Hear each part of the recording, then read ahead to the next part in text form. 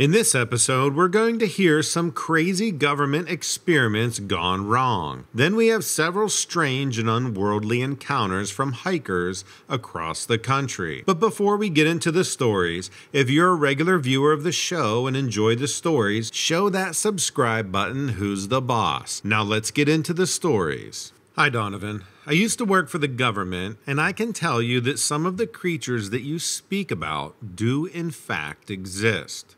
We actually go to great lengths to hide certain creations, genetic experiments, and other things that I can't fully go into here. I can tell you that there are things out there that we have created, but they are not what people think. There is a lot more to the story than most people will ever know. I can tell you that I've seen them with my own eyes. Some are not as big as people make them out to be. I can also tell you that the government has been working on mind control for decades now, and it's getting better all of the time. We've had great success with animals, especially in the Canidae family. I am telling you this because some of the accounts that you read were probably a result of a mind control experiment gone wrong, or maybe even right. The government has been doing this for years and they keep it under wraps very well. What happens is sometimes these animals, or should I say experiments, get loose and cause havoc in society. So they need to be dealt with in order to protect the public from harm and injury. Some of these animals are basically large dogs with an attitude problem due to their genetic manipulation, which gives them human like attributes such as advanced reasoning skills. They can also be very aggressive and dangerous. I know this all sounds crazy, but I'm telling you the truth. I have seen them with my own eyes, and so have many other workers who work for the government. We keep it under wraps because we don't want the public to panic or fear these creatures. They're just doing what they were created to do.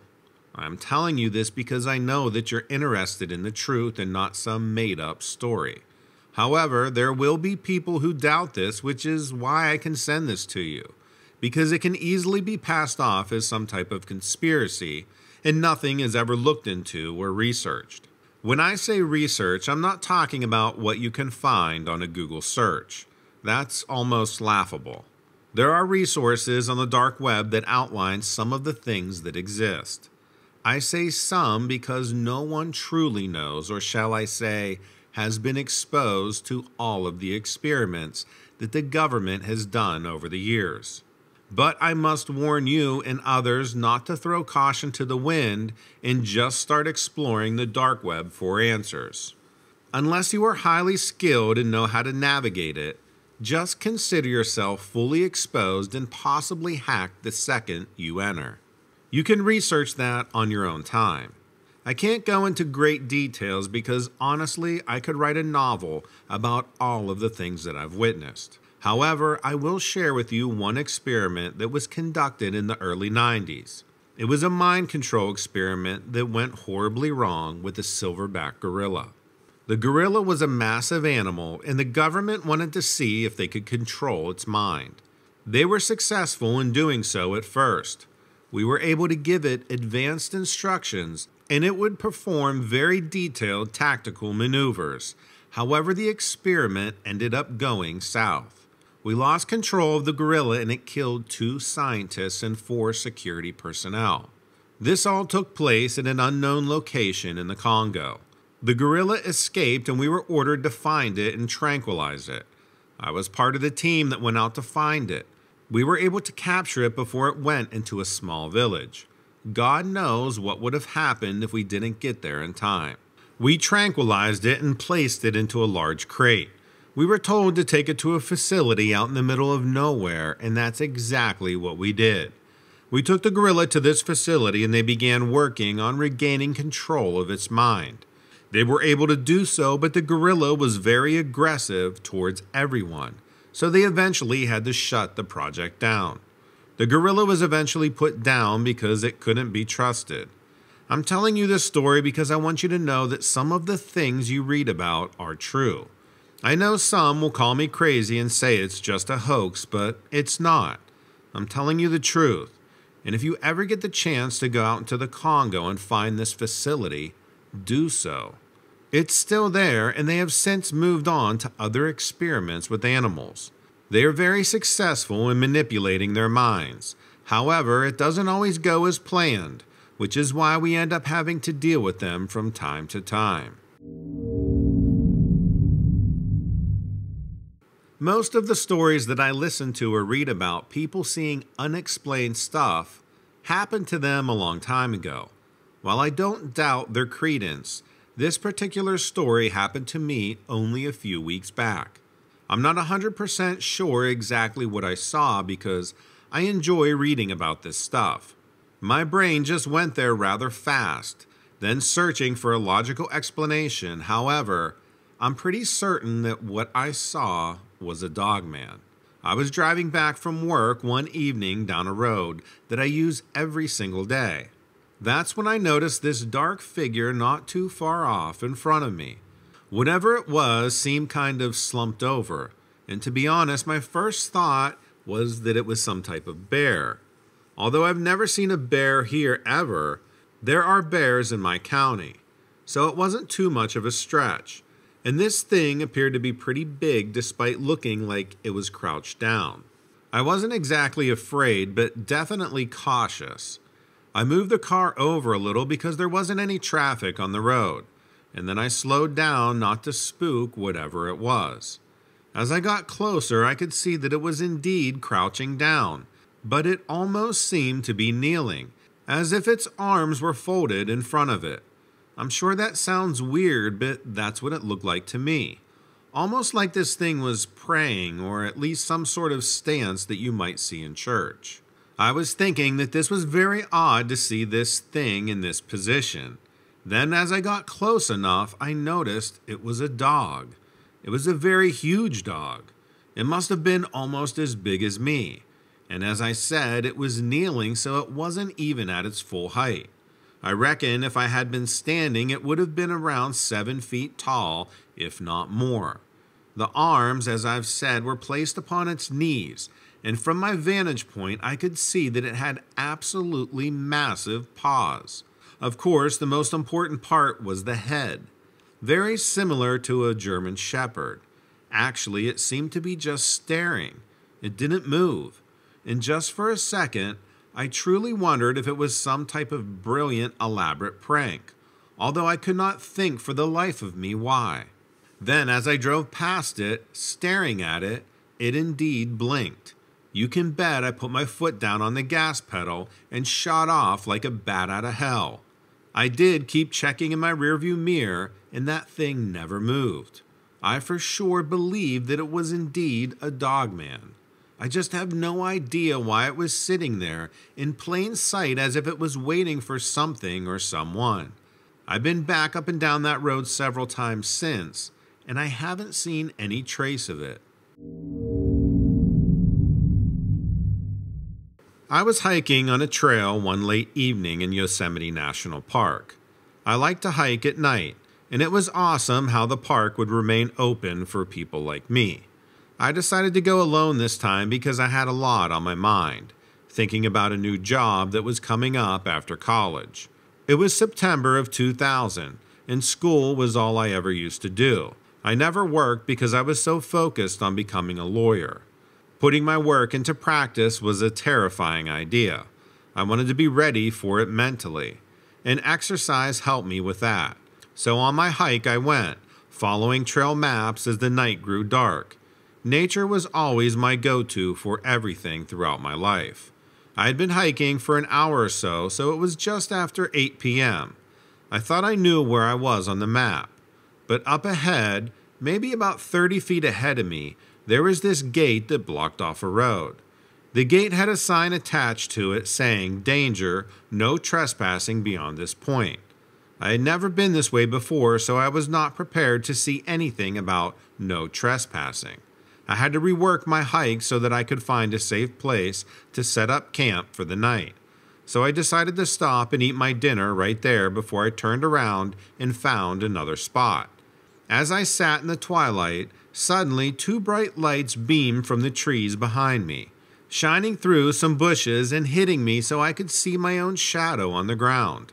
Before I could turn around, two more shadows of figures appeared on either side of my own. Standing in front of the light were these humanoid shaped creatures, but it was obvious that their heads were way larger than mine. I didn't understand what I was looking at, and I became petrified. I turned to finally see what was standing over me.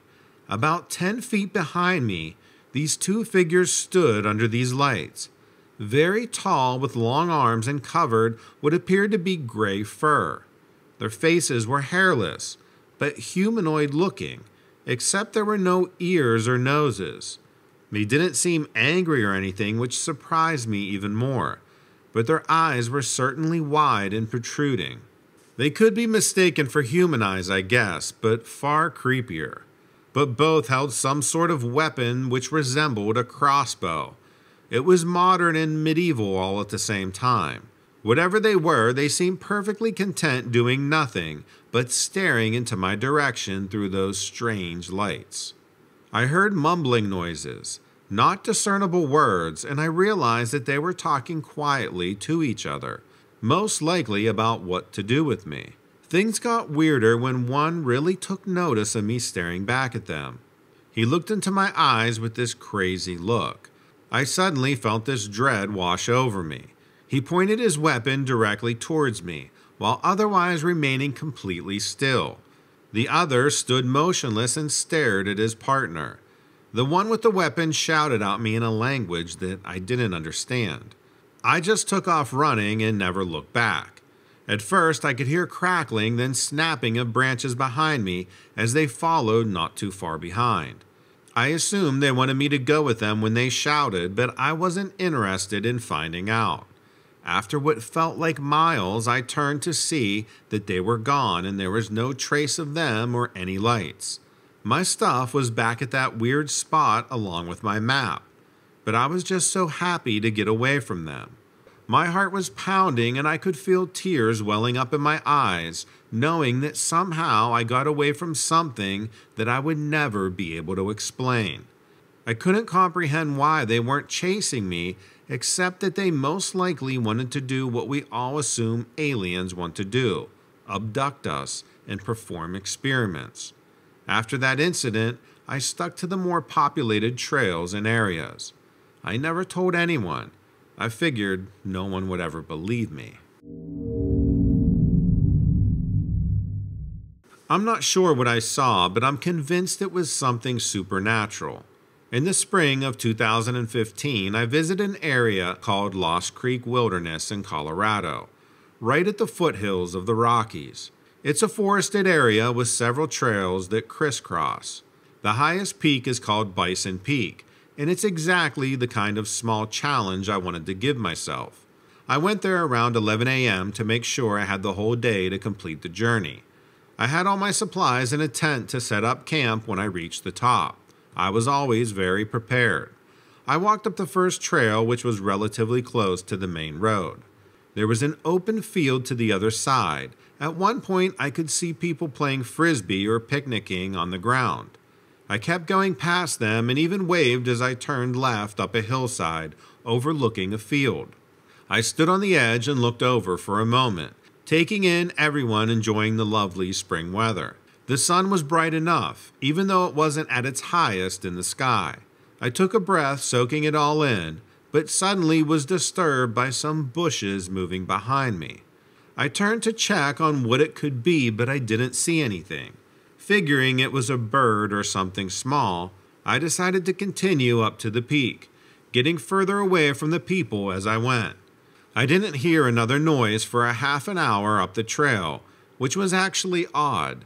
Ever since that rustling sound, I haven't even heard a bird chirp. I kept going, but slower and slower, with my mind racing about what could have scared the birds away. There was a lot of wildlife at Lost Creek, but there was no way an animal like a deer or a bison could have moved that fast through the brush without continuing to make noise.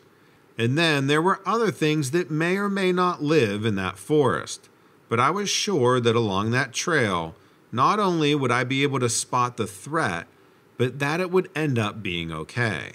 That moment when I began to pick up my pace and let my guard down, something knocked very loudly against a tree behind me. Turning quickly, there was nothing but trees everywhere and the trail was empty. I felt like it became darker because of the canopy of the trees. I couldn't make out anything that could be in them. I was beginning to get spooked, which didn't normally happen to me. I began running up the trail towards the next peak, hoping whatever it was would give up following me and leave me alone. It had tracked me silently from that field into the woods. Was it a person? I thought. Fear and worry clouded my mind, forcing my heart to pound faster with each step upward. I heard loose stones near the trail's edge get kicked, and a few were propelled far in front of me. Now, whatever it was had to be on the path. It had to be seen. I wished afterwards that I hadn't turned around. The first thing that hit me was the smell of a corpse. Then I could see that it was standing about nine feet tall. It had these claws at the end of its fingers, which probably helped it remain hidden from tree to tree as it followed me. Its body was like a shambling skeleton with meat and muscle clinging onto the bone for dear life. It swayed a bit with its head cocked sideways. I didn't know what to do except for stare at its skull like face, gray skin torn and stretched over its beady eyeballs looking down at me. There were tufts of fur in random places with two horns in poor shape, nicked and bent, that sat on its head. It began shambling forward with these thin legs and hooves where feet should be. Its mouth was salivating, and its nose, which was only two holes in its face, was dripping. It was so gross and horrifying, all I could do was drop all of my things and run. I turned and saw it behind me, wobbling back and forth on all fours trying to catch up, but still fast enough that I couldn't stop even for a breath. Suddenly, I came upon another clearing with some people sitting around a creek and decided that I should run through, hoping not to be followed. Sure enough, after stopping at the creek and turning, this strange horned, rotted creature was gone. The people at the creek looked at me hyperventilating and sweating and thought I was on something. I waited there for a while in the grass, afraid to go back for my things. Finally, I ran down to where everything was dropped, and it looked like things were gone through savagely. I grabbed what I could and ran, never going back there again. That was my last hiking trip.